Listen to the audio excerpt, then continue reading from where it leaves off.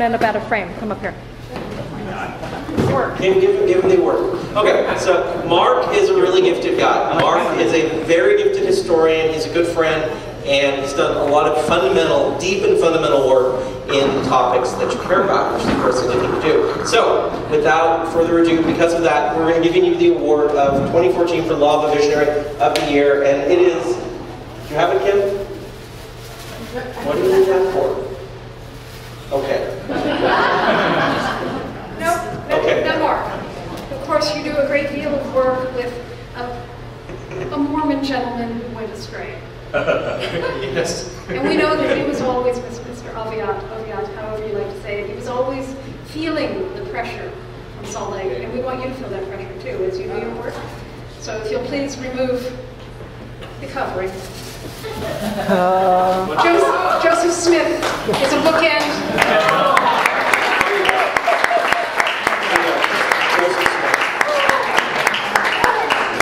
All, all, all of Mr. Oviatt's. Founder, found in Case City, founder of the Church of Jesus Christ of Latter-day Saints, the Mormons, and uh, yeah, uh, James Oviatt was raised a Mormon to his eternal uh, disgust. But Go put that down. Okay, good. Go put that down. You're gonna get started. Maybe I could just do the whole lecture like Yeah, you're. Yes. Put it down. Okay, so Mark, thank you. Everyone, thank Mark for being a great guy.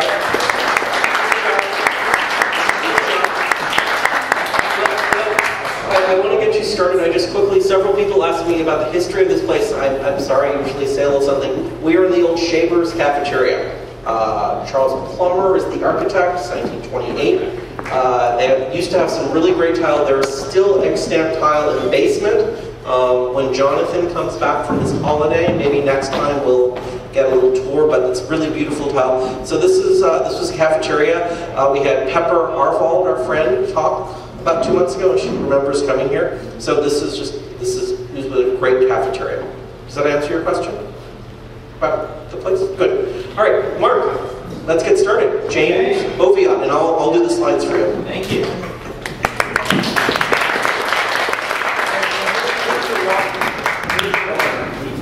Yeah, five minutes. Yeah, and there's the water. Thank you.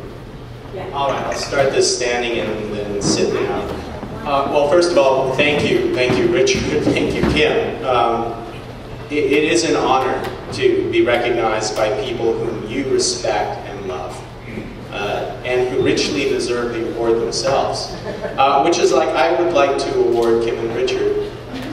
Just kidding. No, but they deserve it, seriously. And I guess they are awarded every time we come That's uh, to their events. That, that is a that's an award in itself. Um, oh, I'm gonna need my glasses.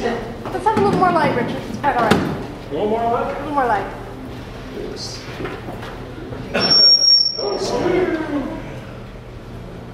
Uh, there we go.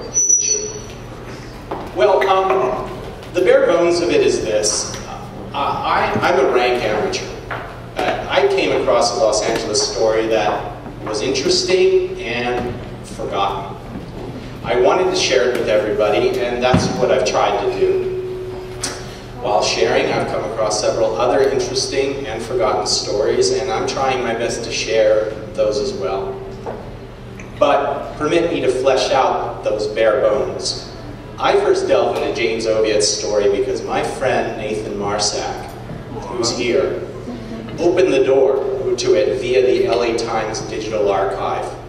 He introduced me to the archive.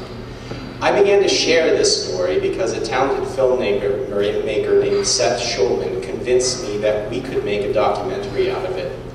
And the Art Deco Society of Los Angeles and the American Cinematheque helped Seth and me to screen it. I've continued to share because Richard Schave and Kim Cooper have enthusiastically opened new avenues for me to do so again and again.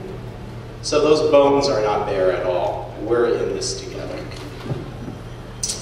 Next. Well, are you ready for a uh, Los Angeles story? Yes. All right, this one is both brilliant and it's dark. It's about a man who, in the early to mid 20th century, was at the nexus of a growing Los Angeles and its most powerful movers and shakers.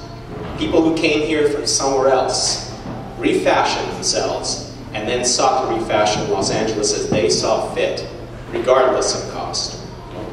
Among them was this man, James Oviatt, a nobody who arrived from nowhere and opened a haberdashery, a men's clothing store, the finest and most expensive on the West Coast, if not the nation. The store's motto was service, but James Oviatt did not want to serve. His ambition was to rise along with his powerful customers and be their equal. In the 1920s, he achieved that goal and became a celebrity in his own right a men's fashion superstar decades before Ralph Lauren and Giorgio Armani. But Oviatt, like some of the leaders he clothed and socialized with, had a dark side, an anti-Semitism so virulent that it grew to engulf him, leading him down to the shadowy world of right-wing paramilitary groups and guerrilla warfare camps. Really? plots to overthrow the United States government, and acts that would destroy his family ties and the business he built. It's no wonder that Raymond Chandler inserted James Oviatt, slightly fictionalized, in a Sam Spade novel. The Haberdasher's Rise and Fall was a noir story in itself. Quick question. Is the, is the microphone too strong? I feel like I... Scoot forward just a little bit. Oh, Yeah. how's that? That's good. Okay. Next. This is Farmington, Utah. James Ozira Oviatt was born in Farmington in 1888. Farmington was, as the name suggests, a town of farmers. But that communal agrarian life was changing during Oviatt's childhood. He was the grandson of a Mormon pioneer and the son of the town's blacksmith. In earlier years, Oviatt's father, due to his trade, had held a prominent place in Farmington, in Farmington, but that town began to grow and become more industrialized, and blacksmithing became less and less important. Retailers and investors were the new elites, and young James Oviatt chose to work in his eldest brother's dry goods store rather than father, follow in his father's footsteps. Little James was the family's black sheep. He rebelled against their devout Mormonism and began to smoke and drink before his teens. At 16, he ran away from Farmington to Salt Lake City, where he worked as a sales clerk and window dresser at several department stores, took business courses at the YMCA, and joined as many social clubs as possible. Next. In 1909, Oviatt joined the Elks Club and went with them to a regional conference in Los Angeles. There, the visiting Elks were given a grand tour of Southern California, the mountains, the beaches, the balloon route, the ostrich farm. Oviatt was entranced by what he saw. A week later, when the Elks boarded their train for Salt Lake City, James Oviatt did not join them. He stayed in Los Angeles. With little money, no job, no connections, and no prospects, Oviatt began to pound the streets of downtown LA. And in 1909, downtown was growing at a rapid pace. It wasn't hard for Oviatt to find a window dressing job at the prestigious Desmond's department store, where he quickly rose to a management position. Next. Oviatt realized that in Los Angeles, there were no elites who could permanently bar him entrance. There was no rock-solid social barrier that he could not break through. Nearly everyone here had come from somewhere else. The most ambitious were on the rise, and Oviatt could rise with them. Enter Frank Baird Alexander, a hat salesman at the Desmond store. There he's on the left. Frank Alexander had had the good fortune to marry a baking company heiress. And as her spouse, he had won memberships into Los Angeles' finest golf and country clubs. Oviatt and Alexander became friends. Alexander taught Oviatt how to golf. And then one day in 1911 or 1912, the two men decided to open their own clothing store. Oviatt had no startup money, and Alexander's in-laws declined to help, but a financial angel did appear as a silent partner. Add Frank Shaver Allen on the right, a very wealthy architect who had lost his profession in the aftermath of a sex scandal. Some evidence suggests that Allen was infatuated with Oviatt and that their partnership was more than strictly monetary. Next. The Alexander and Oviatt haberdashery opened in July 1912. It was a hole in the wall, inside a crumbling little building on East 4th Street. Alexander and Oviatt knew what they were doing, though. Shabby though it was, their store's building was right in the heart of LA's booming banking district, right across the street from the prestigious Angelus Hotel. Resident and visiting bankers, attorneys, and stockbrokers would walk by the haberdashery every day, and Alexander and Oviatt would reel them in. The key was in the inventory. Every day, uh, from day one, the haberdashery sold only the finest products, most of them imported from England and France. Frank Alexander made customers out of his golf and country club contacts, and James Oviatt, through Alexander's sponsorship, not only joined the Los Angeles Athletic Club, but moved into a room in the club's new building in order to have daily access to affluent potential customers. From the beginning, the little shop was a success, earning astonishing profits every single year. So much so that by 1923, the store's income was 12 times greater than it had been in 1912. Next. With success came the need to change locations. Only three years after opening, the Alexander Oviatt store moved into the large and opulent Consolidated Realty building on 6th and Hill Street, with its wealth of new potential customers, real estate brokers, and oil company executives. Alexander Oviatt also captured the fancy of the new movie industry and its biggest producers and stars. For decades afterward, the shop would be known as Hollywood's haberdashers. Four years passed, and the store expanded. Its street-level frontage was spanned to 60 feet. Alexander Oviatt hired designer Joseph Feil to drench the shop's interior in 17th century English Jacobean style. Lots of burnished oak, Moroccan leather, and oriental carpets. Meanwhile, the partnership between Oviatt and Alexander was beginning to fray. James Oviatt had just returned from a year of stateside naval service in the First World War, he had quickly risen in rank. Oviatt came back with a new taste for hierarchy. He declared himself store president and somehow pressed Alexander into becoming its secretary treasurer. Next. It was now the summer of 1920. Post-war Europe was cheap. Oviatt decided to go there, and he went in style. Went, he boarded the Olympic, the Titanic's sister ship, bought a car, and drove all over the back roads of England, Scotland, Ireland, France, Italy, Switzerland, and Belgium, Germany, Austria, Hungary, and Czechoslovakia, searching for the best weavers, crofters, embroiderers, bead workers, dyers, leather workers, commissioning exclusive creations from them to be picked up by him the following summer. In his few moments of spare time, Oviatt flew in a biplane over battlefield sites, attended England's Royal Ascot races, golfed at St. Andrews in Scotland, stayed at the, continent's finest hotels, and found time to gamble in Monte Carlo. And after returning to Los Angeles, he called a press conference to tell the newsmen all about it. This was the first of many summer buying trips Oviatt would take, and always on such legendary ocean liners as the Majestic, the Bremen, the Normandy, the Queen Mary, and the Queen Elizabeth. Next. One year later, in September 1921, Frank Alexander cut himself while shaving. The cut led to an undiagnosed blood poisoning, and Alexander died. His widow, Hattie, inherited his widow Hattie inherited a majority share of the store's stocks and a powerful voting presence on its board of directors. But because Hattie was a spendthrift who did not know how to manage her finances, James Oviatt offered to oversee her money and provide her with an allowance in exchange for giving him complete control over the business. Hattie agreed to the deal, and Oviatt became his store's sole master. Next. Skip. 1923.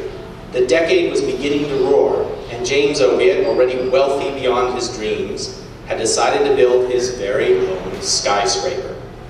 The location he chose was a parcel of land near the corner of 6th and Olive Street.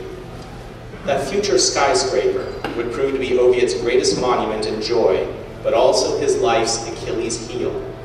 The land was owned by Margaret Coleman, a devoutly Catholic woman who offered Oviatt a long-term renewable lease rather than sell him the tract. Oviatt agreed to her terms, but that agreement would prove to be the greatest mistake of his life. The building would be 12 stories high, the city's legal height limit, most of it to be rented out as expensive offices. The powerhouse firm of Walker and Eisen would be the architects. In step with downtown fashion, the building's facade would be Florentine Renaissance in design. The Alexander Oviatt store would occupy the first three floors, and a penthouse for James Oviatt, the second penthouse in Los Angeles, would sit atop the roof. Not surprisingly, the skyscraper would be named the James Oviatt Building. Next. And the 1920s roared on and on. James Oviatt became one of the city's most expensive amateur golfers, a card-carrying member of the Annandale, Lakeside, Hillcrest, and Riviera country clubs. Oviatt was a regular at dozens of amateur and champion tournaments as a player and spectator.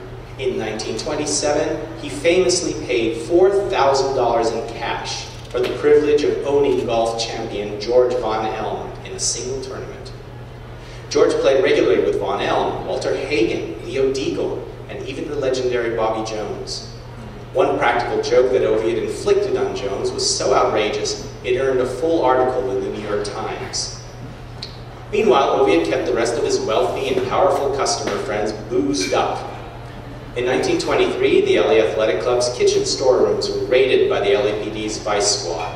Scores of liquor bottles and cases belonging to club members were found and seized.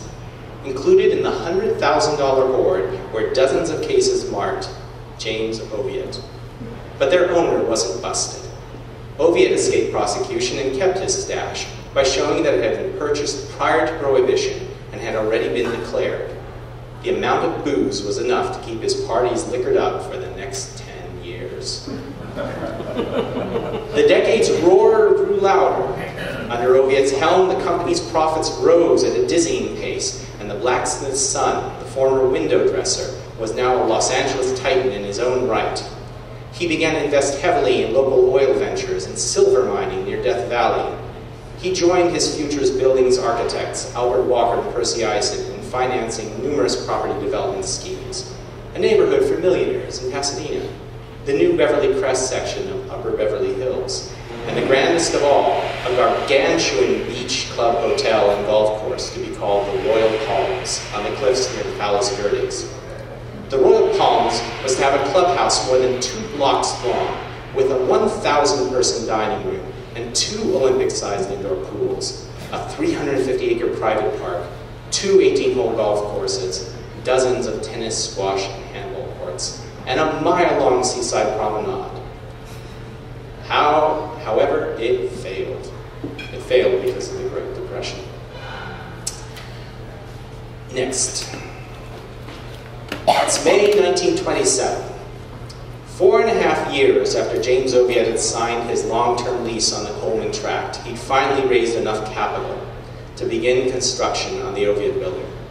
Walker and Eisen, the architects, now favored Italian Romanesque design elements rather than Italian Renaissance. Terracotta had become the preferred material for the building's facade. Oviatt agreed to the design changes and asked that a tower be added. The tower would be above three elevator shafts and would hold the elevator's motors. You can clearly see the penthouse the, in this picture at the top. Notice that the store's front entrance at bottom had a striped canvas awning. That element would not last long. To design the store's interior and the interior of the penthouse, Oviatt hired Feil and Paradise, who had also designed the store in 6th and Hill. That store's oak paneling, display cases, furniture, and grand staircase were to be moved and installed inside the new building. But James Oviatt would need more managers for the store and the building. And so he contacted four of his Utah nephews, who were all in college at the time, and offered them an all-expenses paid vacation to Los Angeles. Oviatt wined and dined them here, gave them tours of the Hollywood studios, and offered a deal. Quit college, join the company as managers, and eventually inherit shares of the business. All four nephews said yes. Oviatt's favorite, Louis, was to be the new building's manager, and it was a hiring decision that would bear bitter fruit and disastrous consequences. Next. Oviatt then went off on his annual summertime buying trip. But in addition to shopping for clothes and fabrics, he was looking to furnish his building in the penthouse. He quickly found a one-stop location for a shopping spree, a department store in Paris named the Galeries Lafayette. This enormous store had its own prestigious, very modernistic design studio, La Maîtrise, headed by Maurice Dufrêne, its artistic director a man who passionately supported a new style called Art Moderne, what we now call French Art Deco. La Maîtrise offered the latest deco furniture, fabrics, metalwork, potteries, rugs, and cabinetry, and Oviatt bought scores of everything. Now, just a year earlier, Maurice Dufrêne had commissioned a new cornice and arcade ceiling for the Galeries Lafayette Old Beaux-Arts frontage. This new frontage would be all glass and lighted from within. The style was perfectly art moderne. Engineer Ferdinand Chanut and glass designer Gaëtan Jeannin made the designs. Revolving color wheels in yellow, red, and green and blue swirled around the interior of the glass. Oviatt saw the new ceiling and flipped out. He cabled his own store designer, Joseph Feil, and said, Come to France at once. We have to redesign my building. And so Joseph Feil sailed on July 27, got to Paris. Oviatt said, you, you must remake my store into art moderne. And Joseph Feil said, what is art moderne? He'd never heard of it. He said, Mr. Oviatt, I'm going to have to teach myself what art moderne is. Give me a lot of money I will buy art books at the finest bookstores in Paris, and I will learn. And Oviatt gave him the money. Feil educated himself, and sure enough, he sailed back to the US and started, brought French Art Deco to a Los Angeles building. In the end, over 100 tons of furnishings were exported from France to Los Angeles in order to furnish the Oviatt building. It was the largest shipment of decorative furnishings that had ever, ever gone through the Panama Canal. Next. Maurice Dufrêne, in addition to heading the La Maîtrise uh, at the uh, department store, was also head of the Salon des Artistes Décorateurs, a prestigious interior design exhibition held every summer in Paris. Dufrêne brought Oviatt to the salon and introduced him to, to its most famous exhibitor, René Lalique, the master glassmaker. Oviatt contracted Lalique to design and manufacture door and elevator panels for his new building, three massive chandeliers, and a large multi-paneled wall clock. It was the first commercial American, pro American project that Lalique had ever consented to. Before being shipped to the US in 1928, a pair of glass doors and one of the giant chandeliers were exhibited at the prestigious Salon d'Automne design show in the Grand Palais of Paris. Lalique and Oviatt worked together to design a logo for the future building. Two angels representing Los Angeles, the city of the angels, holding a mission bell representing Los Angeles' old world Mexican heritage. The new logo would be showcased on two massive glass doors that would open into the Alexander and Oviatt store. And you see in the center one of those two panels, that, black, that is one glass panel. It weighed several tons. It was seven and a half feet tall. Where is it, where is it now? It is now a, in a crate in the basement of the uh, University of Utah Museum of Fine Arts, cannot be seen. Why? Um, a long story I'll try to get to. Next. At the salon, James Oviatt was introduced to Sadier et Fils. They were cabinet makers and furniture makers, and they were pioneers in Art Deco. Oviatt saw a living room set and a bar set at the salon and commissioned copies for his own penthouse. Every stick of furniture that James Oviatt ended up importing for his penthouse was in fact designed and made by Sadier et Fils. Next. Well, James Oviatt made one more purchase before leaving Paris. He bought a brand new, dark brown, absolutely gargantuan Hispano Suiza H6B town car with custom coachwork by Hibbard and Darrin. The cost was $24,000, a staggering sum in 1927. Oviatt and Joseph Feil actually drove this behemoth all over Paris and then shipped it off to the US. When the Depression hit, and Oviatt was strapped for cash, he began to rent out his Hispano-Suizan to the movie studios. A number of early 1930s films and beyond uh, showcased it. Arsène Lupin, Berkeley Square, and most famously, Grand Hotel, 1930s Oscar winner for Best Picture. Greta Garbo's limousine, that's her car. In fact, Katharine Hepburn, when she first arrived in Hollywood in 1932, rented out the limousine for herself and had herself driven around town thinking she would make a splash. The thing is that everyone in Hollywood knew that it was a rental car because they'd seen it in a million films. she ended up being laughed. laughed at. Well, uh, next, please. And so here's the building under construction. At the bottom, if you notice at the far right photo at bottom, there's no canvas awning. The glass cornice and arcade ceiling that Ferdinand Chanut and Gaëtan Jeannin uh, were building for Oviatt was being installed. Five of Chanut's assistants arrived from Paris to assemble it. The sidewalk in front of the store had rubber tiles. This was a promotional stunt. Uh, Oviatt said that people would be so dazzled by his display windows that they would stand in front of it for hours, and their feet would get tired, so he put in a rubber sidewalk. and got a lot of press for it. Yeah, uh, 15 years later, these tiles would be immortalized by Raymond Chandler in his second novel, The Lady in the Lake. Also imported from France was a three-faced neon clock for the tower. You see it at the far right photo. The clock's chime bell mechanism, which was supposed to play traditional songs and patriotic tunes, never worked.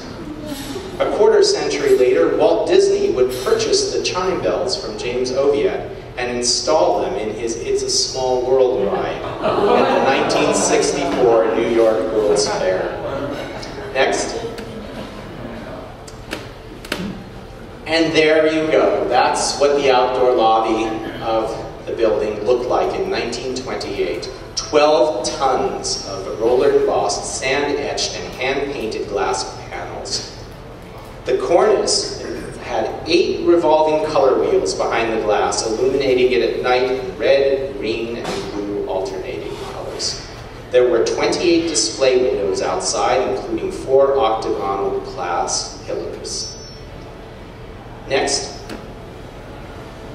And this is how the store's interior turned out. It turned, Oviatt wanted, as it turned out, a pastiche. A bit of Art Deco mixed in with the English Jacobean. And so that's what he got. Oak paneling. Crests of the buildings in the store were everywhere. But if you look closely at this photo, especially in the ceiling area, you will see the elements of Art Deco that uh, Joseph Feil popped in. Next. And here was some of the stuff that he was selling when the store opened in the new Oviatt building. Just to give you an idea, um, that luggage over there was about $1,000 per piece. On the right was a beverage uh, container, as he called it, because you couldn't say booze, it was still prohibition. And that was about $800. At the bottom was a perfume that was sold only at the Oviatt store. It had, the bottle had been designed by Rene Lalique himself. You see the mission bell design, and you see the two angels holding the mission bell as well. That perfume cost $25 a bottle. Enormous sums back then. Next. And here was James Oviatt's penthouse and rooftop. The pen interior of the penthouse is easily the most Art Deco part of the entire building. It has 12 rooms, still exists. Living room walls covered in mauve-colored silk, Lalique chandeliers, sand-edged glass windows, skylights by Gaëtan Jeannin. The penthouse rooftop was very similar to the LA Athletic Club's. It had a large canvas sunshade canopy, like the clubs, a tennis court, like the clubs, and a sunbathing area, like the clubs. The penthouse also had a massage and steam room, also like the Angeles Athletic Club. It had a deep walled fountain, which was later called a swimming pool, sort of erroneously. Next. And there you go, looking at the at the top left, you, you know you reached fame when you're in a nationally syndicated comic strip. Some of Oviatt's Hollywood friends are here. You can see in the bottom left uh, Maurice Chevalier with James Oviatt at a notorious gay club of the time, actually, the Club New Yorker, which was on Hollywood Boulevard. And uh, on the top right, there's James Oviatt at the races with W.C. Fields. On the bottom right, James Oviatt um, wearing the green suit being satirized the guy who could sell you anything. It says, I only wanted a hat, but Mr. Jinx, you could be a model for a fashion plate this very minute. Next. Well, here's a problem. You open your store in May 1928, and then a year and a half later, the stock market crashes. The Great Depression almost immediately hit the menswear industry, and Oviatt started to fail. He had a lot of deadbeat credit customers. He began to blame his failure on a specific group, the Jews. Why? I don't think it was because of his Mormon upbringing, not at all. I think it was because when he would visit Europe in the 20s and he would talk with his suppliers, especially in Germany, in Austria, and in France, they would tell him about how a Jewish conspiracy of bankers, financiers, industrialists were strangling their businesses, were causing inflation, problems everywhere. At the same time, they would talk of Jewish Marxists who wanted to overthrow the great capitalist world order. Oviatt heard their words and he believed them. And when he himself started to run into trouble, he seemed to see Jews behind every, every rejection and every, uh, every problem. Oviatt was in big, big trouble. He started to hold sales for the first time, lots and lots of them. He went after his deadbeat customers. Nothing, nothing was working. It looked like he was going to have to close only a couple of years after his building had been, had been created. But then, at the final hour, there was a salvation. In 1932, in a sweetheart deal, Oviatt was able to essentially pawn the building to Bank of America, which agreed to hold it for him for 10 years. At the end of that period, he had the option to buy it back at the pawned price with minimal interest. The store could stay in the building and Oviatt in his penthouse. Now this deal sounds too good to be true. Along with Oviatt's employment of his nephew Louis, would end up having terrible consequences, but not yet. So the store was saved and the building was saved. Oviatt had a second win. He had not fired a single salesperson, even in the times of trouble, and immediately after the Bank of America deal, he gave them all raises. He opened a third floor custom tailoring workroom. employed over 80 full-time tailors, and he started investing again. He was a founding partner in the Santa Anita racetrack. He, uh, with the Hollywood crowds, he'd spend weekends in Palm Springs, Sun Valley, and hunted in Mexico. Next. In 1933, just the same year he was saved, he opened a 25-year lease on the northeast corner of the Beverly Wilshire Hotel. And there was the branch store, Oviatt's Beverly Wilshire. He also opened an importing company, brought in European booze. Why?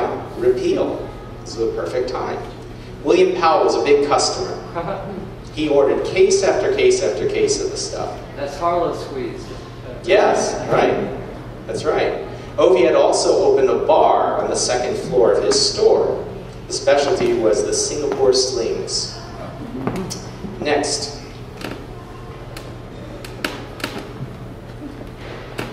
And here are some of the stars that wore Oviatt clothing. In fact, that photo on the top left shows Humphrey Bogart wearing an Oviatt suit. His Oviatt suits had a certain distinction. They would have the boutonniere hole on the right lapel instead of on the left. Made them identifiable. Bottom right, there is Adolphe Menjou wearing an Oviatt hat. Bottom left, there's Walt Disney wearing an Oviatt sports shirt. And top right, there's Howard Hughes wearing an Oviatt tie. So Greta Garbo bought her berets there. Marlene Dietrich shopped at Oviatt's for her top hats. Carole Lombard bought gifts at the Beverly Hills Oviatt store for William Powell and then Clark Gable. Uh, funny little story about Howard Hughes and Oviatt. Howard Hughes was a friend and customer who stopped being both after an infamous Oviatt prank. Hughes, who owed James Oviatt money on a golf bet, was about to embark on his round-the-globe flight in 1935 when Oviatt got hold of the aviator's super-secret itinerary. He ended up selling, sending telegrams at each one of Howard Hughes' secret stops. When Howard Hughes would arrive, the telegram would be handed to him saying, you're still alive? I can't believe it. Well, I think it's time for you to pay off my debt before, uh, before you get killed in the next one. After a few stops of this, uh, Oviatt received a telephone call from uh, Hughes' secretary saying that Mr. Hughes was going to immediately pay off the bet and never wanted to speak with Oviatt again. and that's how it happened. And then finally, in 1939, Clark Gable had Oviatt's Beverly Hills make a number of costumes for him to wear as Rhett Butler in Gone with the Wind. Next. Ah, look who's there, Raymond Chandler. World War II began. Oviatt cut off his buying trips to Europe and stopped importing. Government restrictions took their toll and the store's profits began to decline.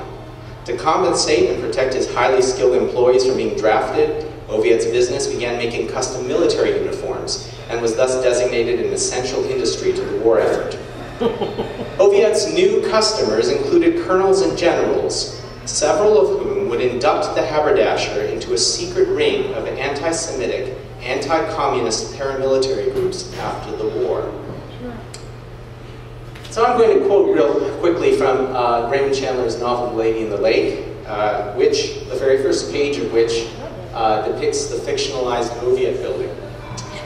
The Treloar building was and is on Olive Street near 6th on the west side. The sidewalk in front of it had been built of black and white rubber blocks. They were taking them up now to give to the government, and a hatless, pale man face like a building superintendent was watching the work and looking as if it was breaking his heart. The Gillerlain Company was in front. Oviatt's company, basically. Swinging the double-plate glass doors bound in platinum. The reception room had Chinese rugs, dull silver walls, angular but elaborate furniture, sharp, shiny bits of abstract sculpture on pedestals. Uh, Chandler also described Oviatt in the form of Derace Kingsley. I don't think I have a lot of time to describe that, but he has Kingsley say, I'm a businessman, I don't fool around. That's exactly something that Oviatt would have said. The dark side begins to grow with Oviatt. We're going to get into that very soon, but I wanted you to keep it in mind. Next, please. Up until now, had remained a bachelor. But that was going to change because he was aging. Enter Mary Richards. She was from New Mexico, and in the early 40s, Mary Richard worked as a sales clerk and outfit model at Oviatt's. She was 18, he was 53, robbing the cradle, as he used to say. He was attracted to her. They started a secret relationship. And in 1945, he proposed to her. She had finally become, I think, 20, 21.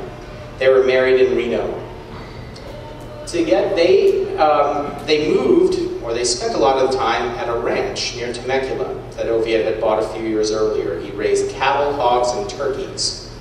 Not coincidentally, the land around the ranch looked like Farmington, Utah. And also not coincidentally, the Farmington elites of Oviatt's youth had owned cattle ranches.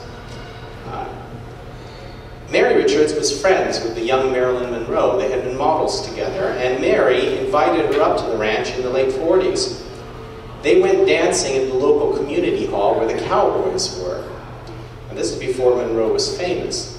But I'll tell you this, the, the cowboys who are still alive today, every one of them remember that night when they danced with a young Marilyn Monroe. They had a loving relationship, uh, Mary and James. She called him Papa, and he called her Boss. They had one son, one child, James Oviatt Jr., known to Jimmy, born in 1955. And Jimmy had a difficult relationship with his father, who was 67 years his senior. A shy and lonely boy, little Jimmy spent his early childhood playing in the store until his father shunted him off to military school. Next. And now the darkness really begins.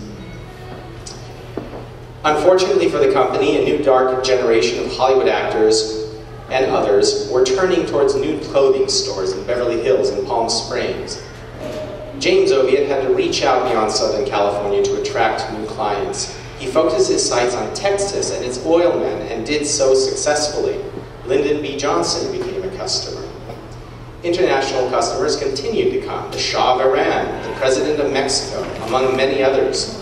Eisenhower, Johnson, Ford, and Reagan. Eisenhower bought a vicuña overcoat at Oviatt's.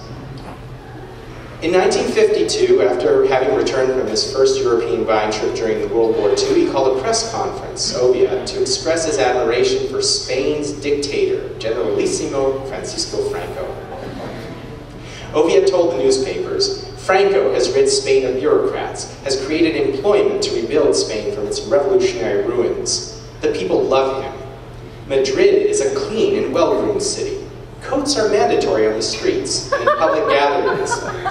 A cab driver was arrested and fined for not wearing his cap. The streets are washed with fire hoses three times a day. End quote. It was his idea of heaven. Meanwhile, Oviatt's relationship with his four nephews, the managers, had long since soured. They were grateful that he kept them employed throughout the Depression, but came to realize that he never intended to give them shares in the business. Oviatt pitted the nephews against each other so that they wouldn't ally against him.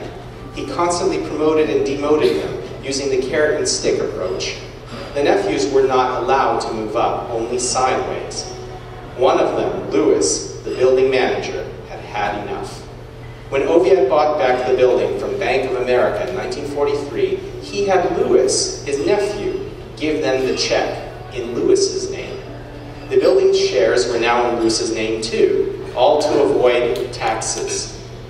Seven years later, Oviatt asked Lewis to hand him over the shares, and the nephew refused. He demanded that Oviatt buy the shares, and therefore the building instead.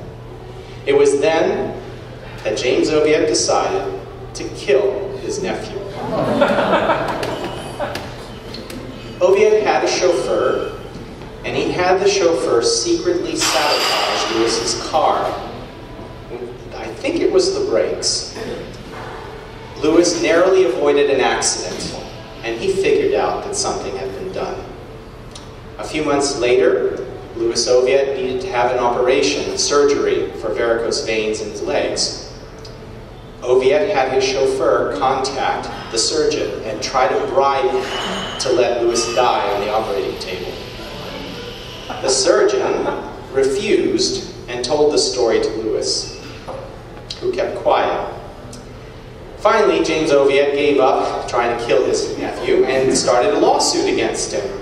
But before it came to trial, Lewis confronted his uncle and said that he knew about the murder attempts.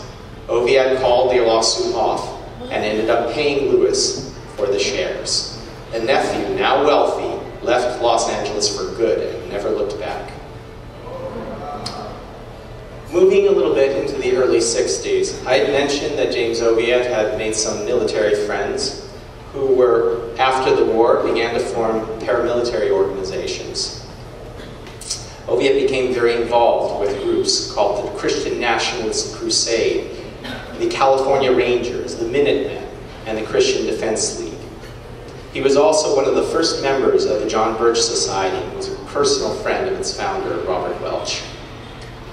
He began to print on his letterheads and on his envelopes uh, for the store, this is a republic, not a democracy. Let's keep it that way.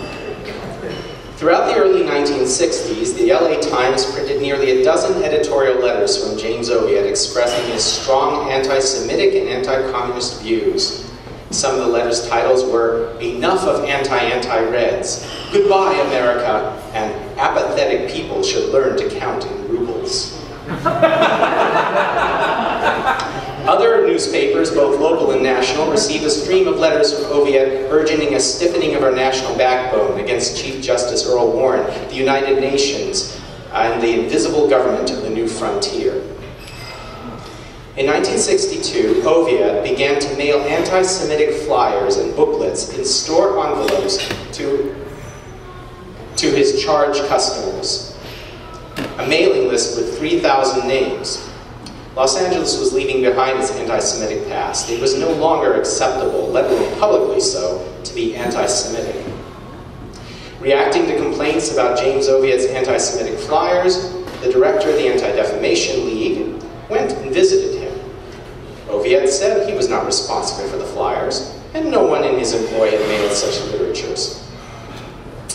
However, the Beverly Hills Times newspaper got hold of the flyer and printed it. The flyer said, Wake up, buy your Christian gifts from Christians.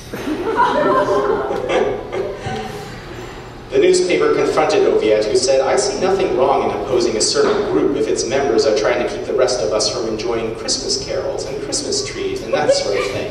But I'm not admitting anything. One year later, Oviatt printed and sold at his store a booklet of excerpts from the International Jew, which had been printed by Henry Ford's independent newspaper in the 1920s. He sent a copy inscribed Compliment of James Oviatt to the mayor of Los Angeles, Sam Yorty, who had actually been an Oviatt salesperson for decades earlier. The store's windows now displayed poster-sized advertisements by the John Birch Society.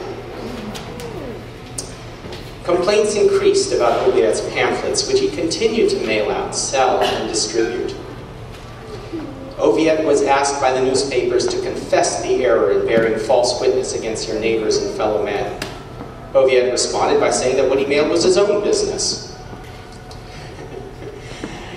Within weeks, a substantial number of the store's customers canceled their credit accounts and boycotted shopping there. Well, Oviatt sort of ignored it, and he moved on to something a little bit deeper, those paramilitary groups. In 1963, one of the paramilitary groups, the Minutemen, held region-wide field training exercises at Oviatt's ranch.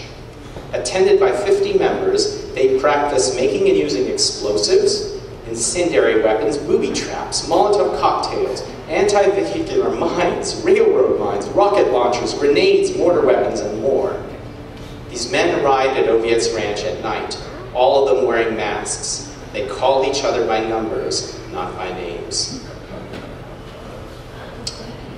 In 1964, responding to accusations against him and to declining sales at his stores, James Oviatt launched a $20 million lawsuit against the uh, uh, Anti-Defamation League of B'nai B'rith and local newspapers.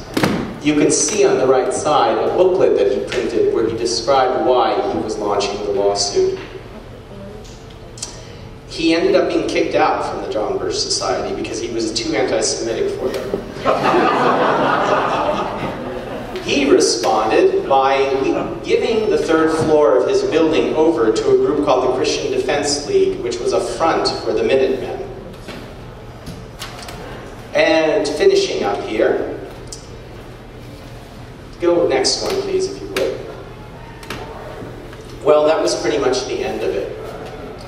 That was the end. Oviatt's sales declined to such a point that he could no longer keep his store open. He had already closed the Beverly Hills store a few years earlier, and the Los Angeles store could not keep up.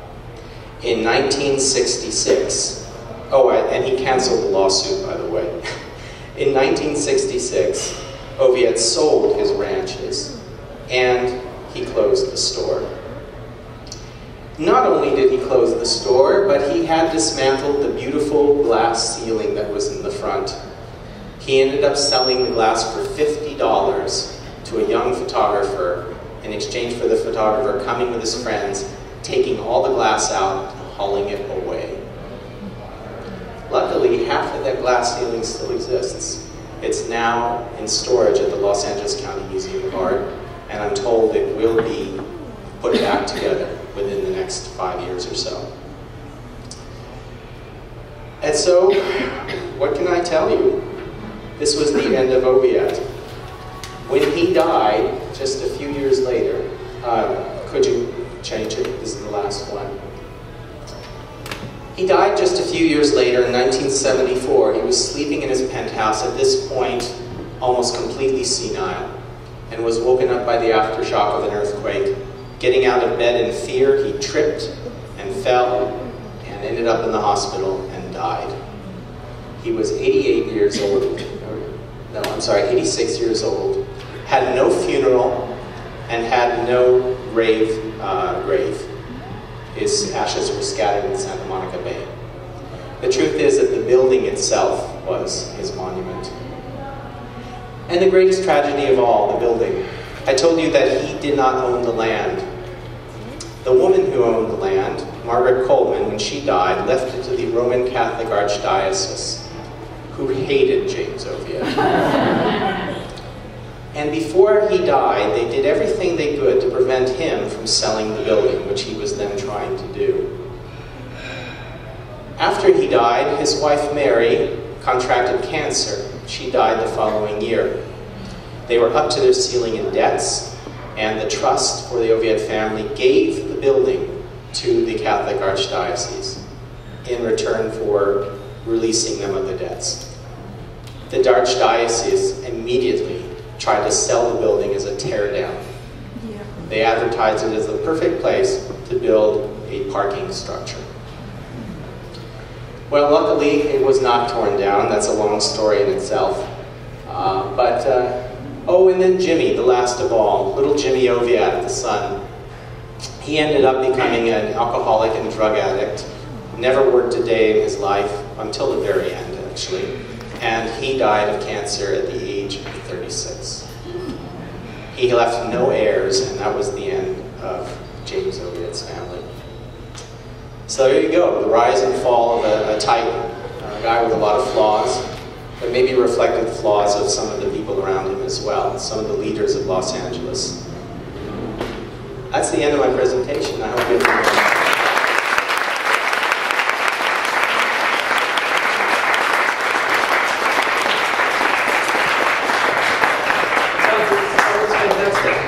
That was really good. Um, I, if some people have to go, go. But if you can stay for a minute, are there if there are questions? Mark, why don't you? Yeah. Turn the lights on, Richard. Okay, I'm gonna turn the lights. Okay. Are there any questions? Yes. Yes. Okay. Go. Here they go. Grab, grab the microphone. Okay, this is almost beside the point, and not to take away at all from your fabulous lecture, but Raymond Chandler wrote about Philip Marlowe and not Sam Spade. Thank you. Thank so you. you really yes. need to change that in your I will do that, yes. Very Thank important. You. And um, Yeah. what, what year was he born? Oviatt? Yeah. June 2nd, 1888. That means that he was only four, oh no, No. So how old was he when he came to Los Angeles then? I've got to. Uh, he's 21. Okay, thank you. You bet. Okay, questions? Yes, Gene, Gene Spivey. Hi, Gene. Hi, you mentioned that uh, giant golf resort he's going to build in Palos Verdes, which was sort of killed by the Depression. Did they start to build it or just they lose the financing and never built it? No, they did start to build it, and, and it was killed by the Depression and by the fact that they could not get water, fresh water to it. It turns out that there was a bit of land in between where they, the water pipeline began and where the resort would be that was government owned, and the government would not allow them to continue the pipeline. So they ended up having very little water, and you can't have a very big resort without fresh water. Uh, so that, that was it. Um, the remains of it still exist there and uh, off down at the bottom of the cliffs of Palos Verdes. It's just a pile of tumbled down concrete, but uh, it, and it's, it was going to be something fantastic. What was it called? Palm? It was called Royal Palms, and, and that area, that little section of Palos Verdes, that cliff is still called Royal Palms, so you can find it. Yes, I was going to was he friends with people like Harry Chandler and Doheny? absolutely. Yes, yes. He knew them, he sold to them, he knew their children. He, more likely he sold to their kids because you know they were they were older men, or at least uh, Doheny was. But yes, he ran in those circles. Uh, who owns the building now? And when you talked about the glass, are they putting half that glass back into the entrance area? The building is now owned by two uh, real estate developers named uh, Robert and Robin Hanasab, they're brothers, and uh, they bought it in 2007. And uh, no, it would be unbelievably expensive to try to reinstall the window or the ceiling or even make a facsimile of it. Furthermore, nobody knows exactly how it was put together and assembled. It was so complex. Five engineers from Paris had to come to assemble it. And the uh, instructions uh, no longer exist. The diagrams are gone. Yes? I'm just, I can't resist. Can you do a quick summary of what happened to the building since the diocese to where it is today? Very quick summary. Yeah, the diocese tried to sell it as a tear down, as I said. They couldn't get buyers um, because it was in a bad section of town at that point. It didn't have central air conditioning. It had problems. And then they were selling it for $450,000, which was nothing. It included the land. This time it included the land. Um, a developer named Wayne Ratkovich, who specialized in industrial properties, bought it because it was so cheap, and he was going to tear it down until he went to see it. And when he walked in, he fell in love. And he said, I can't tear this down. I'm going to try to restore it. His bankers thought he was nuts. Uh, they told him that the ground floor where the store had been could only be used uh, as a uh, food court. They suggested that a Taco Bell be put in, along with others. Uh, he said, no, I want a gourmet restaurant, and he ended up finding a man named Mauro Vincenti to open the best Italian restaurant in Southern California there. It was called uh, Rex Ristorante. Uh, and, uh, and so, and he restored a lot of it. He really, he fixed it up and he, and he made it viable again. So that's pretty much the story from there. The penthouse, no one has lived there since James and Mary Oviatt died. It has been used since 1977 to rent out for parties and film shoots, and that's it. Okay, I I have a question. Yes. Okay, so Mark, you have to tell us how this all started with your first memory of the Oviatt building on your way to go swimming at the Los Angeles Athletic Club. Yeah, isn't it weird? You know, I mean, I don't know. You, you, you, you think of remembrance of things past, you know, how, how memories can lead you in a direction. Um, when I was a little boy, I took swimming lessons at the LA Athletic Club. And my dad and I would go out the side entrance on Olive Street, and I saw this building across the street with this, even though the front, the glass had been largely removed from the front, it still looked like it was, it was a movie palace, you know, the entrance. And I just thought, wow, this is the coolest building. But it was really run down. This was 1975, and homeless people were sleeping in that outdoor lobby at night. And in the morning they would leave, and they'd leave all the newspapers around there, and it was a mess. Um, and then I noticed that on the side of the building there was a name painted. It said Oviatt Building on the side of the building. My, high, my principal of my elementary school was named Oviatt, so I thought he owned it. Which was impressive. It stuck in my mind. Uh, and it just sort of stayed with me over the years. I, it kept in my, it, it, it, stuck. And I would check on it sometimes to see how it was. noticed that it became a restaurant at some point it was so expensive, I, I didn't even want to walk in, it was so intimidating. And then it became another restaurant, which was less intimidating, and I finally walked in.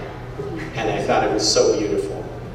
Uh, and, uh, and it finally led me to making a documentary film about it because I found out that nobody remembered James Oviatt. He was almost instantly forgotten after he started going crazy with his anti-Semitism. Uh, uh, so I decided to bring it back. Perfect. Okay. Marc, thank you. Everyone, thank you.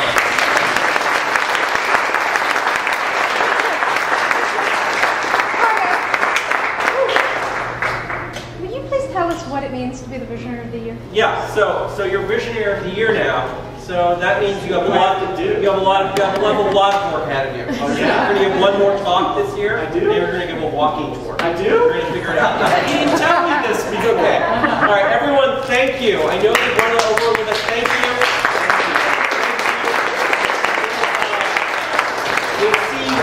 fun with Joe Esterly and Linda King talking about loving and hating Charles Bukowski. Yay! Say Godspeed, God bless, thank you. Thank you, thank you, thank you. Thank you.